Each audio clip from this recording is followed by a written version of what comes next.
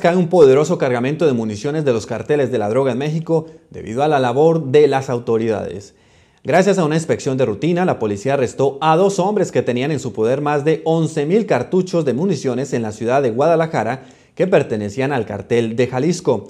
Los detenidos no tuvieron más remedio que confesar para quién trabajaban y cuál era el destino de esta millonaria carga.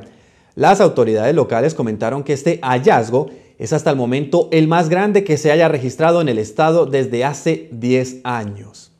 Escuchemos lo que informaron las autoridades sobre este caso que tiene en alerta a todo el país mexicano.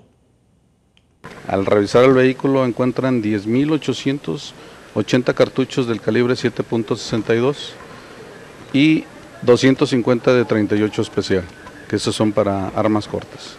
No omito manifestar que el sujeto manifestó trabajar para el cártel de Jalisco y los Corona, al cual les vende las armas y los cartuchos.